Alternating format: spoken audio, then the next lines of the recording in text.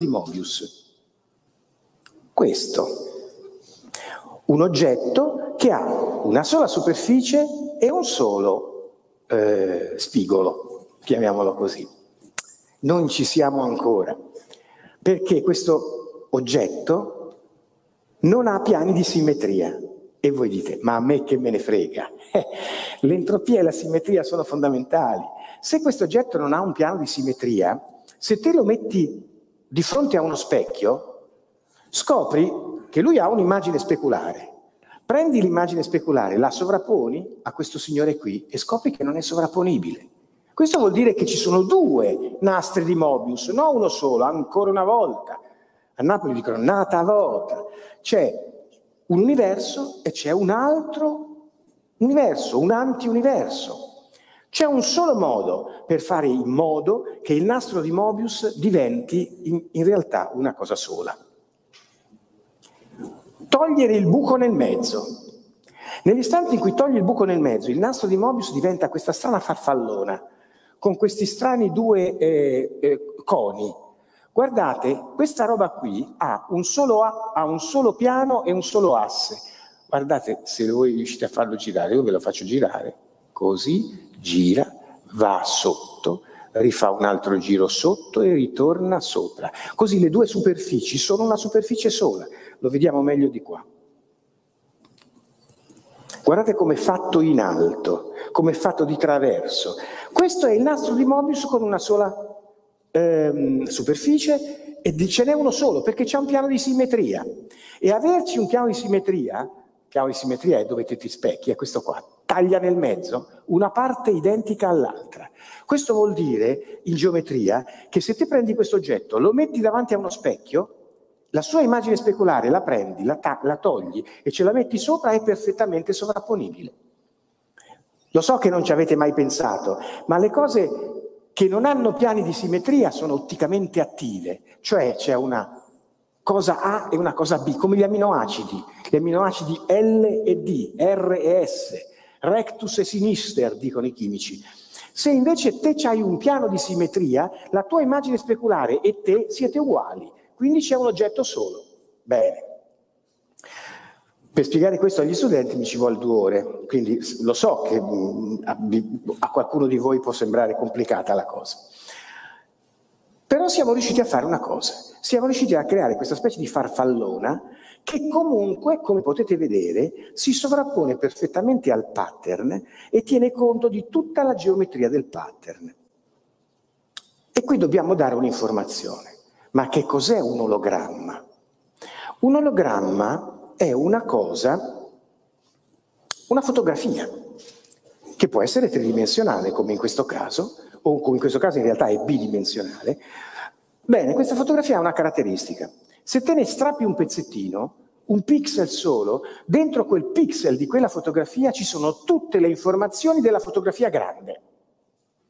Però te non le vedi, perché in un pixel te non è che vedi tutta la fotografia, hai fotografato la Madonna, ne prendi un pixel e lì dentro c'è una Madonnina piccola piccola.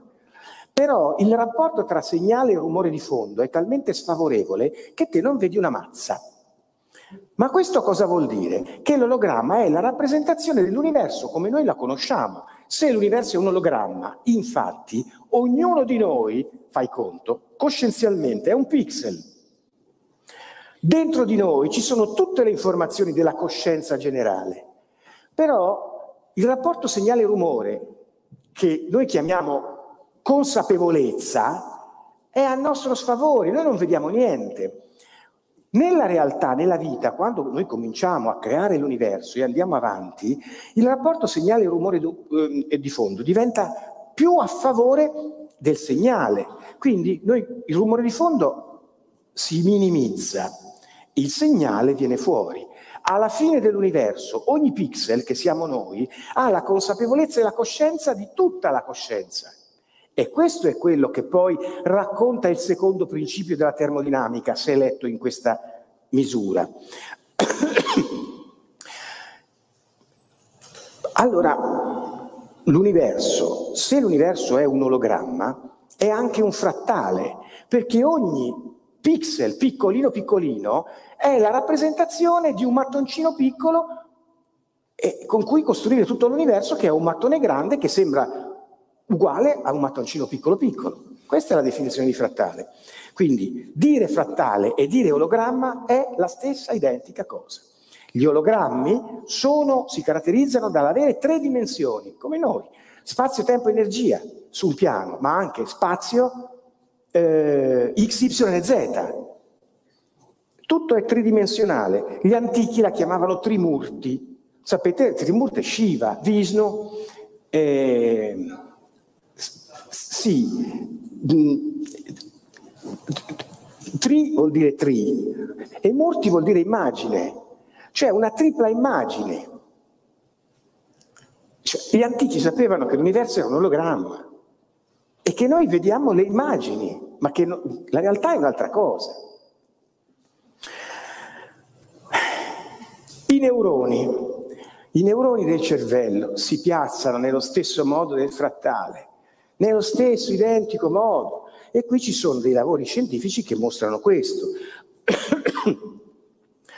Guardate, queste immagini noi le abbiamo prese da eh, lavori scientifici pubblicati in letteratura, dove si vede che ci sono dei percorsi neuronali fatti in questo modo qui, che fanno vedere che il frattale è praticamente rispettato. Guardate, qui ci sono tre scatolette. Una scatola con un topo, c'è sempre il topo con i percorsi che fa per trovare il cibo. Che cosa hanno studiato questi scienziati? Cosa hanno visto? Poverini, il topo ci metti, li massacri, ci metti dentro nel suo cervelletto degli elettrodi e, e, e guardi cosa fa il topo a distanza sul computer. Ebbene, si è visto che la mappa cerebrale delle zone che riguardano il percorso che il topo fa sono identiche al vero percorso che il topo fa. Cioè il, percorso fa un to- un, un, il topo fa un percorso per raggiungere il formaggio che è identico alla sequenza di alcuni neuroni che mimano questo percorso. E guarda caso, questi neuroni si mettono tra di loro in posizione tale da mimare il pattern.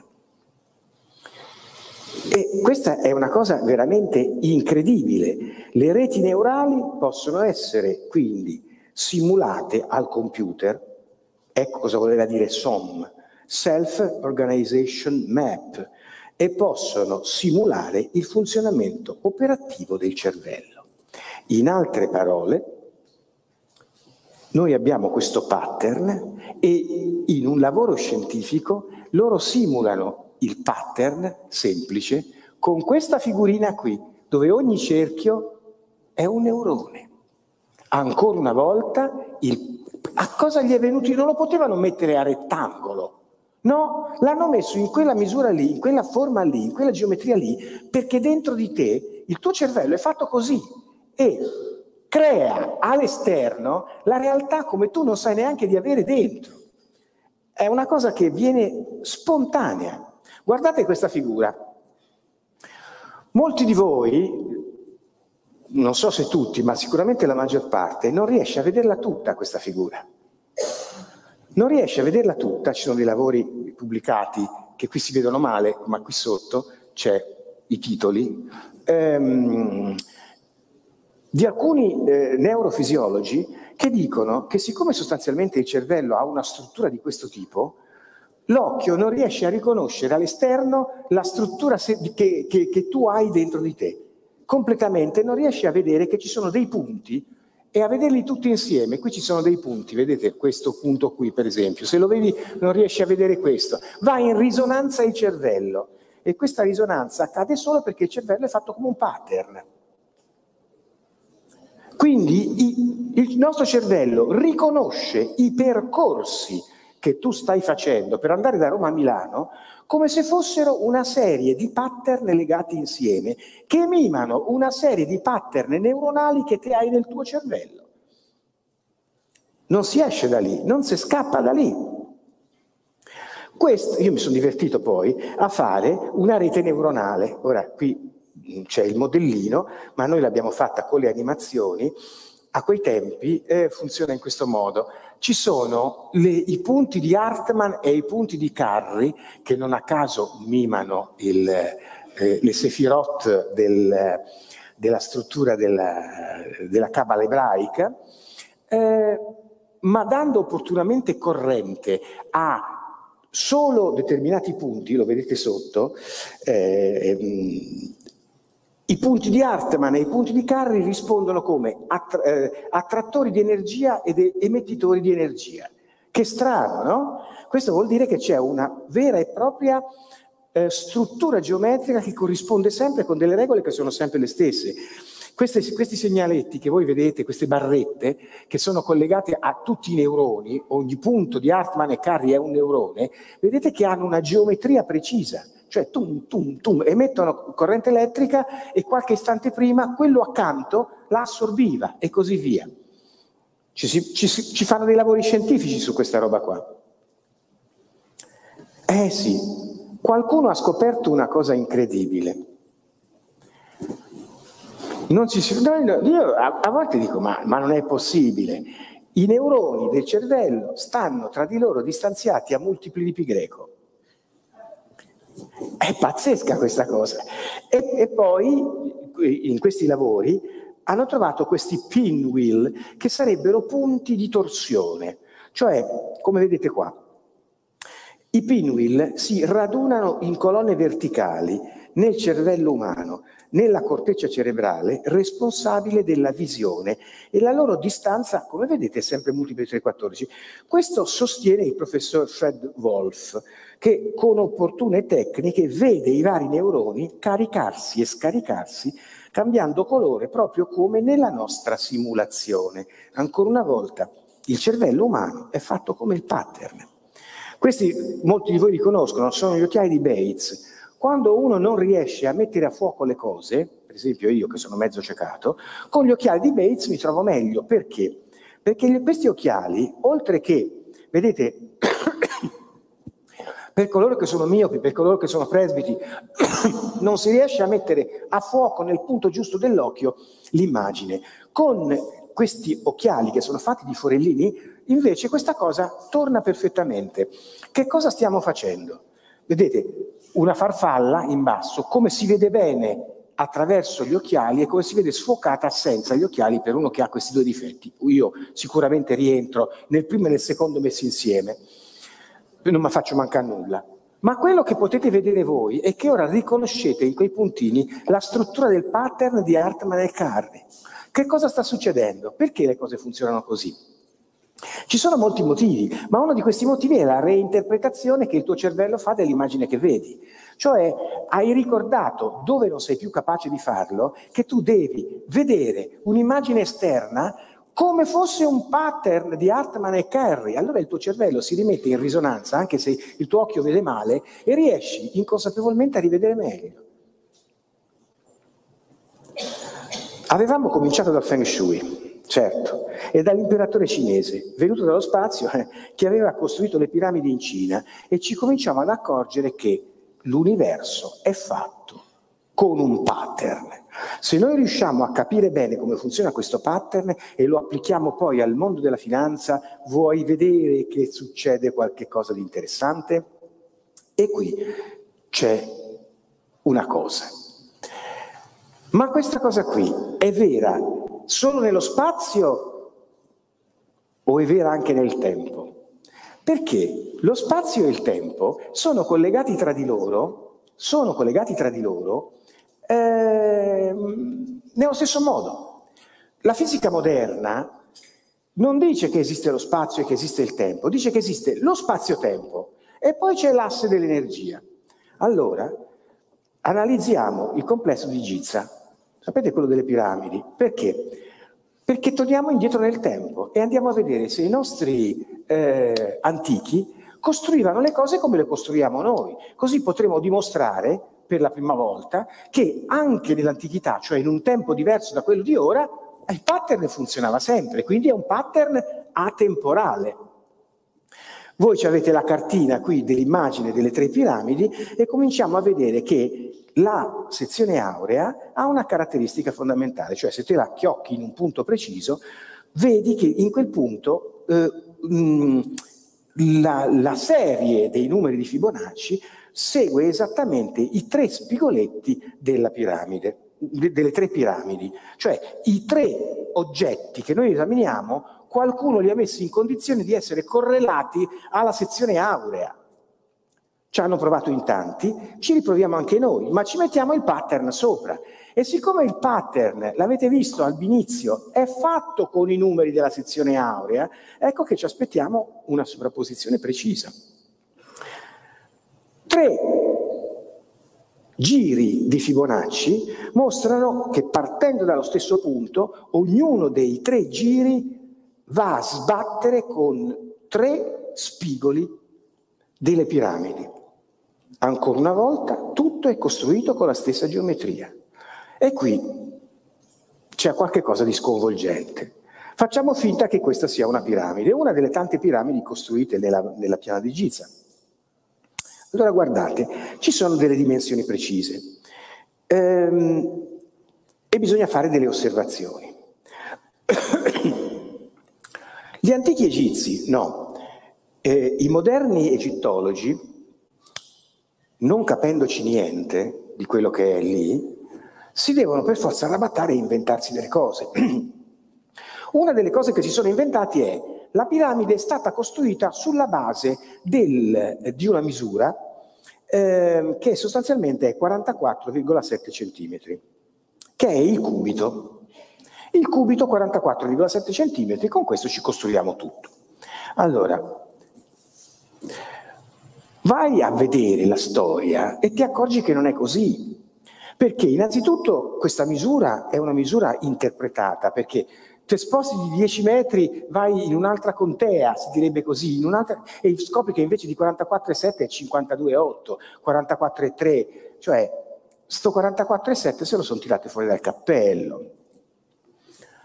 Ma si scopre anche un'altra cosa, la logica. Guardate, la scienza si fa con la logica, cioè te devi, essere, devi avere logica perché se no fa, fai come un mio studente. Un mio studente un giorno venne, eravamo in laboratorio, facevamo le prove di laboratorio, mi porta, fate conto, una mela, non era una mela, ma era un, un aggeggio che doveva pesare con dentro della roba. E mi dice, professore, ah, l'hai pesata questa roba? Sì, sì, quanto pesa? 5 kg. Come 5 kg? Peserà 20, 10 grammi. Eh, ma la bilancia mi ha detto 5 kg. Ma la bilancia sarà rotta. Ah sì? Ah no? Che pensi che quello pesa 5 kg? No? Allora ti vaccini. Cioè, eh, la logica è logica, è logica, è logica. Ecco, 44,7, qualunque cosa fosse, non poteva essere un cubito, perché l'idea del cubito è legata all'idea della misura. Quando sono state costruite le piramidi, secondo quel signore che si chiama Zacchia Was, circa 2500 anni prima di Cristo, questi non sapevano né leggere né scrivere. Cosa volete che, che sapessero che cosa cazzo fosse un cubito? Non lo potevano sapere.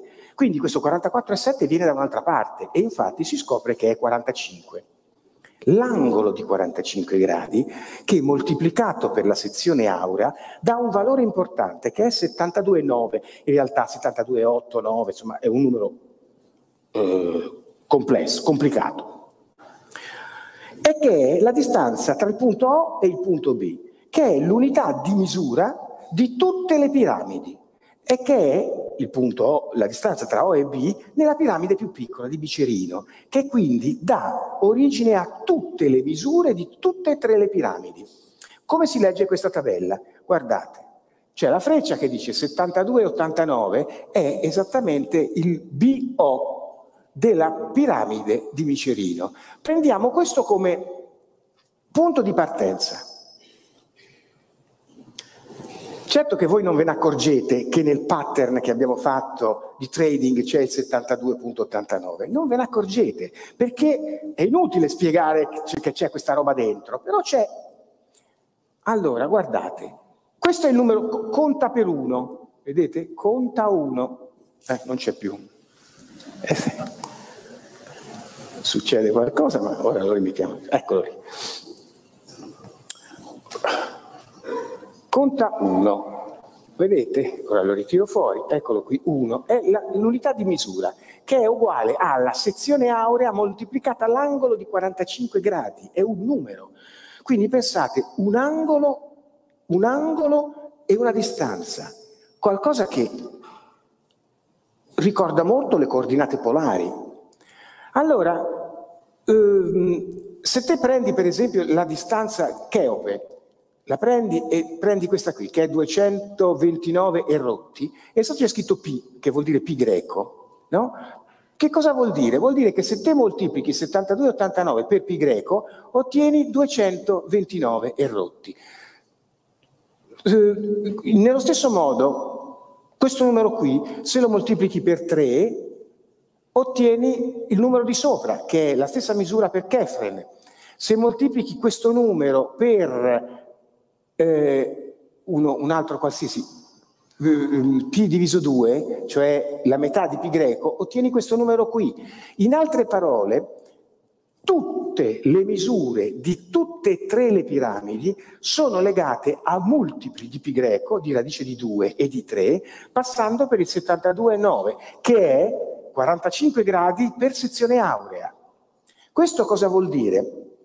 Che tutti questi oggetti sono costruiti su una stessa base e scopriremo che questa base è il pattern, perché nel pattern ci sono due aree molto importanti, l'area B e l'area A. E come vedete l'area B è 72.899, proprio uguale a quel numero misterioso che è legata all'unità di misura con cui è stata costruita tutta la piana di Giza. E sotto 69.1150 che è l'altra area dell'altro pattern che sono numeri che sono in rapporto tra di loro e definiscono il pattern, le aree dei pattern. Questo cosa vorrebbe dire? Vorrebbe dire che questo misterioso numero 72.899 erotti è il numero di una civiltà che sicuramente non usa i numeri decimali, 1, 2, 3, 4, 5, ma usa, che ne so, numeri tipo pi greco. Non è roba nostra. E infatti guardate cosa succede. Per esempio, se te prendi 169.115 e lo dividi per 72, cioè fai la divisione A diviso B, la moltiplichi per 10, ne fai il quadrato e lo moltiplichi per 360, viene questo numero 179.88 che è un angolo cioè 180 gradi. Ma dice, ma non è 180 gradi? Certo, c'è una differenza e questa differenza è proprio 0,11, 455, 1043 ne fai il logaritmo in base 2 e viene esattamente 3,14, 15. Cioè lo scarto che te hai da quello che ti aspetti che sia e quello che in realtà è, è sempre un sottomultiplo del pattern. Cioè non esiste l'errore, l'errore è un patternino piccolo piccolo e questo è veramente incredibile. L'area del pattern di Carri diviso l'area del pattern di Hartmann, per esempio, è quello che vedete voi, cioè alla fine è pi greco diviso radice di 2. Ehm, e sono i numeri delle aree di Hartmann e Carri che si rifanno alle misure della piramide di Cheope, all'altezza della piramide di Kefren. Per esempio, guardate questa cosa incredibile. Il rapporto tra B e A è un numero che è 1.05475, eccetera, eccetera, che mima la radice di 2, che mima il, eh, stessi, le stesse cifre della eh, costante di Planck ridotta, si chiama così, H tagliato. E che chiamiamo C. Questo C, se io lo levo a pi greco e lo elevo alla quarta, dà esattamente 180,00000000000. Non può essere un caso. Tutti i numeri dell'ologramma sono alla fine numeri che non hanno eh, unità di misura e alla fine sono angoli, solo angoli, perché l'unica cosa che conta nel pattern è la geometria.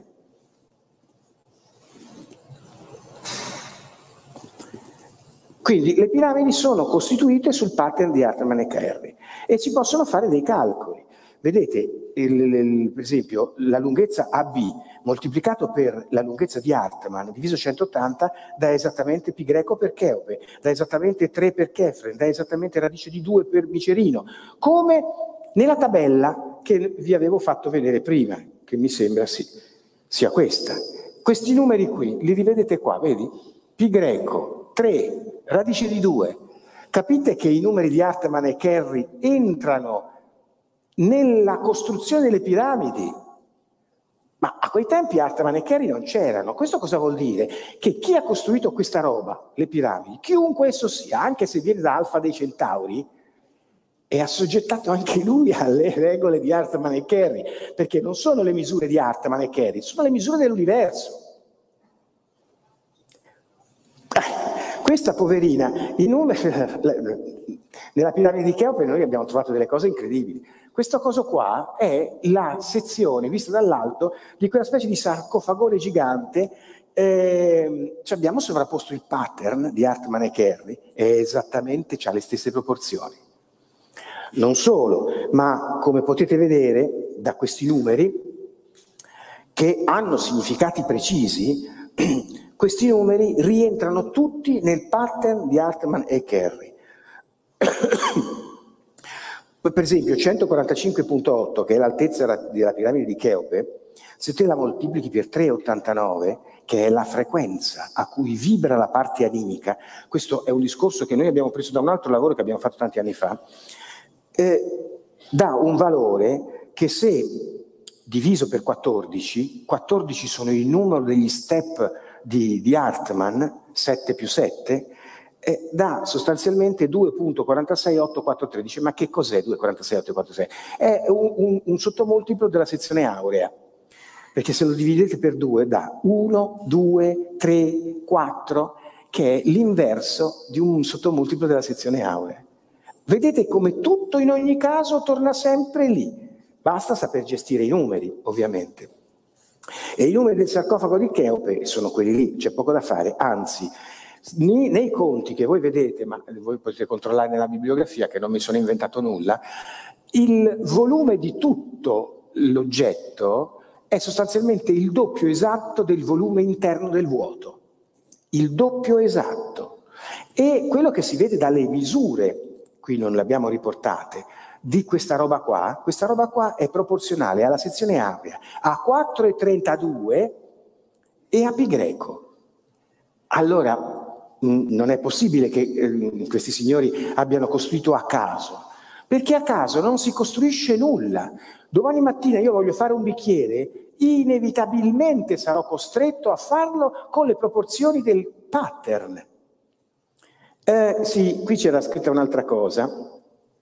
In basso, qui c'è scritto, vedete, il numero 1.976 per 2 alla quarta, eccetera, eccetera, è sostanzialmente eh, 1000, eh, la radice quadrata di 1000, che è 31.622. Questo numero qui, che viene fuori, è una delle due aree, l'area per esempio del buco nel mezzo, è esattamente uguale a questo, dà origine a questo numero, 31622. Se te prendi 31622, questo è un numero che ne fai l'inverso, viene 0,31622, cioè è un numero il cui inverso ha le stesse cifre.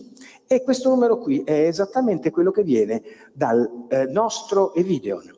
Perché trasformando, non ve lo faccio vedere perché non ha senso, i numeri degli spazi in suoni da 20 Hz a 20.000 Hz, più o meno è quello che l'uomo riesce a sentire con l'orecchio, in Hertz, quindi questi sono Hertz, la, il rapporto tra gli estremi degli assi, qualsiasi eh, asse prendi, dà sempre 31,6 e rotti.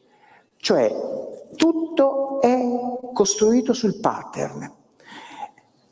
Ma i satelliti artificiali, le, le, le, i satelliti naturali, i pianeti, e questi come sono messi tra di loro? Che cosa hanno a che fare col, col, col pattern? Hanno a che fare qualcosa? Sì, certo, guarda. C'è un signore, anzi, sono due signori, uno che si chiama Titius e l'altro che si chiama Bode, che hanno fatto una formula. Una formula che mette in relazione, ma siamo nel 1800, eh, una relazione tra la distanza dei diversi pianeti del Sistema Solare, in unità astronomiche, con i numeri della sequenza, primo pianeta, secondo pianeta, terzo pianeta. Per esempio la Terra è il terzo pianeta, n uguale a 3, unità astronomiche uguale a 1. Poi c'è la costruzione di tutto il Sistema Solare. Ebbene, per capire bene come funziona questa roba c'è una formula. O meglio, la formula di Titius che è questa, 0,4, quindi A, che è la distanza in unità astronomiche dal Sole, è 0,4 più 0,3 per 2 alla n, che nel caso della Terra è 1. E viene esattamente la, la distanza di questo pianeta dal Sole. Eh, c'è eh, un piccolo problema, non si sa perché, non lo sa nessuno. La, però funziona. Funziona questa cosa e allora la NASA cerca anche di migliorare con un secondo algoritmo, che è quello che vedete sotto. Aspetta che te lo rifaccio vedere, che se no... Quello che vedete sotto, eccolo qui, è la formula che ha fatto la NASA, più complessa, più complicata. Sotto c'è un'altra un, un astronomo che si chiama Laskar, che ha fatto questa struttura però K, che è una costante arbitraria, che vale 0,14. Ma che è K? Boh, non lo sa nessuno, però la, la formula funziona. Eh, Nottale, che è un importantissimo matematico francese, eh, ha fatto un'altra formula con due costanti, perché una non basta, ce ne vuole una per i pianeti vicini e un'altra per i pianeti lontani. Sì, meraviglioso, eccezionale. Queste formule vengono utilizzate dalla NASA per trovare anche ipotetici pianeti extrasolari. Che bello! Ma che cazzo sono sti numeri? Non lo sa nessuno. Allora, siccome io mi sono detto, se il pattern deve valere per tutti, mi fai vedere se qui dentro c'entrano le misure del pattern. Questo è il nostro sistema solare. Ecco, vedete subito una cosa, che se il pattern è la misura di come è costruito l'universo, il nostro sistema solare ha avuto qualche problemino, perché non è perfetto, c'è qualcosa che... Se, questi sono i pianeti lontani che voi vedete, perché i pianeti vicini sono, sono questi qui dentro, ora li vediamo meglio, questi è ancora peggio, cioè ci sono delle perturbazioni molto forti, ma le perturbazioni devono tenere presente sempre del sistema di pattern, perché si saranno allontanati dalla realtà del pattern, ma con dei numeri che sono proporzionali al pattern, perché tutto il sistema è frattalico. Andiamo a vedere. Questi sono, guardate, i, i pianeti vicini scazzano alla grande, ecco, diciamo così. Quindi questo cosa vorrebbe dire, tra parentesi? Ci dà un'informazione, che in passato è successo qualcosa a questo povero sistema solare che era un po' sciaccagnato, come dicono dalle parti di Pisa, sciagattato, come dicono dalle parti di Livorno. Infatti Trepisani e, e Livornesi sono come tra cani e gatti. Bisogna cercare di capire da dove viene questa formula. Questo è il pattern che ci viene fornito. Alcuni pianeti non erano stati neanche scoperti, sono stati scoperti dopo, ma sono in relazione a quello che è il pattern di Titius e di Bold.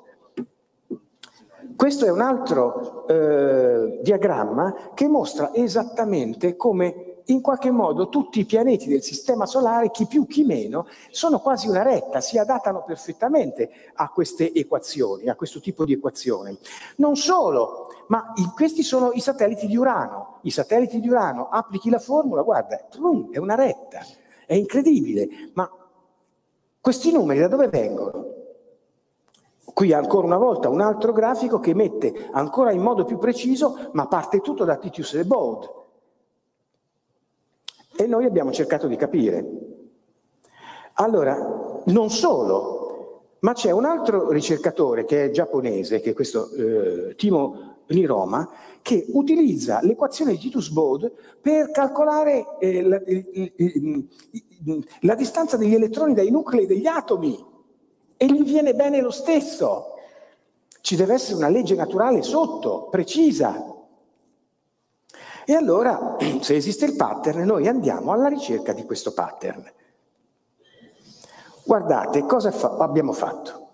Cominciamo tutto da capo. Io sono uno che non sa nulla, prende i dati delle distanze dal Sole in unità astronomiche, ci mette i numeri dei pianeti, 1, 2, 3, 4, 5, 6, li dà da mangiare al computer.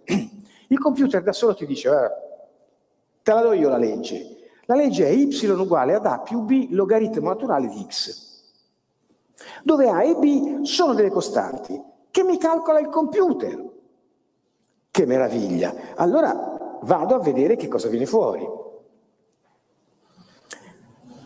E scopro che questa curva è praticamente precisa, precisa o quasi tutti i corpi più importanti che noi abbiamo, fino ad Eris, che, che è un, me, un megapianetone lontano, eh, subito dopo Plutone, poi c'è Nettuno, Urano e così via.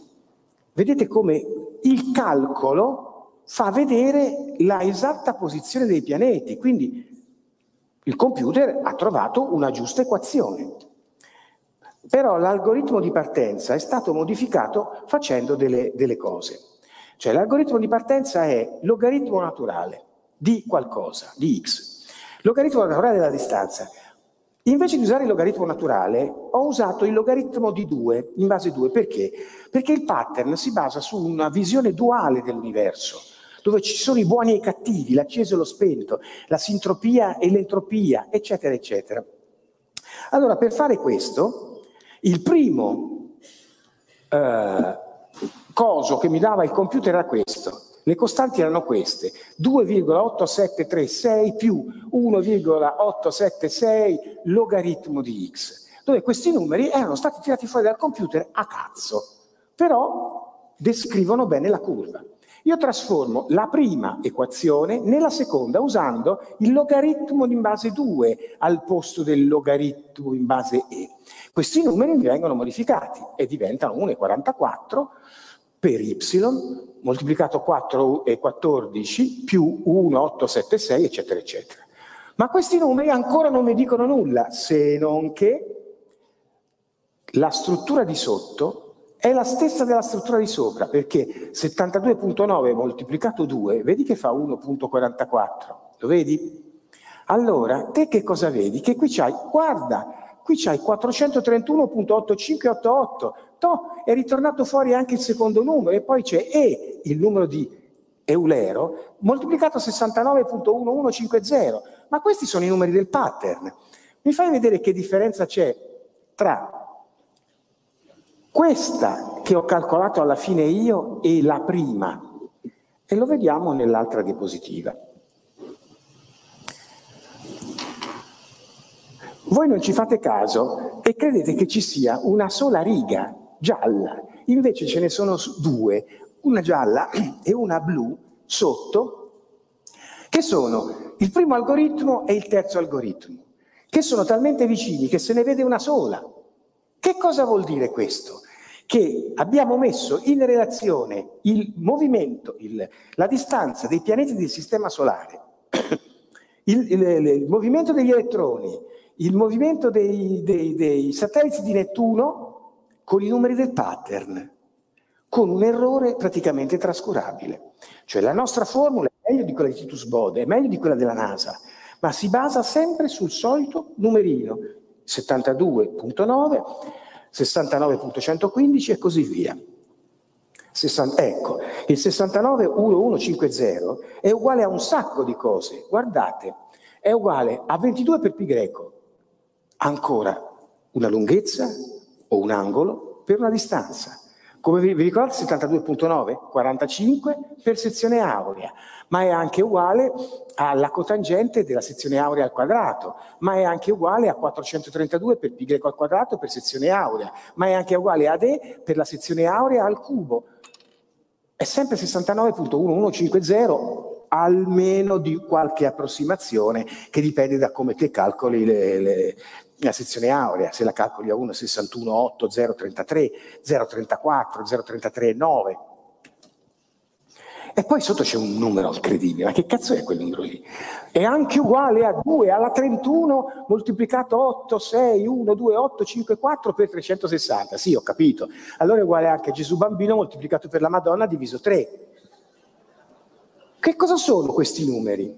Questi numeri li abbiamo calcolati sotto. Guardate cosa c'è scritto sotto. Sotto c'è Ora vi trovo. No, sì, aspetta, aspetta. Aspetta, eh. Troverò prima il buo. Eccolo qua. 23.9245, che cos'è? È qualcosa che assomiglia a 24. È la durata siderale del giorno. 23 ore, punto 9, tutti quei numeri che, che, che seguono. Numero complesso, non è 24 ore, mm, questo lo sappiamo tutti. Quello è il numero vero. Il numero vero, che cosa ne abbiamo fatto? Il numero vero l'abbiamo moltiplicato per 60 secondi e per 60 minuti. Cioè abbiamo calcolato i secondi che ci sono in una giornata, in un giro. Abbiamo moltiplicato tutto per 360, abbiamo ottenuto quindi una, una, una geometria sferica. Questa geometria sferica è per questo che ne facciamo il cubo, vedi, l'abbiamo elevato a un terzo. E questo numero, che è quello che viene fuori, 86, 128.54 per 360, radice cubica, è esattamente uguale a 100 volte pi greco fino alla decima cifra dopo la virgola. Lo sapete cosa vuol dire? Vuol dire che quando la Terra si muove nella galassia e fa un giro intorno alla galassia, ancora una volta viene fuori lo stesso numero del pattern, tra cui pi greco. E quando noi moltiplichiamo questo, lo dividiamo per 2 alla 31, una eh, potenza di 2, perché l'universo è duale, a ridagli col 691150. Questo vuol dire che il movimento della galassia è il pattern di Hartmann e Kerry. A questo punto, siccome siete sicuramente fusi, vi diamo 30 minuti di tempo per respirare e poi torniamo qua. Grazie.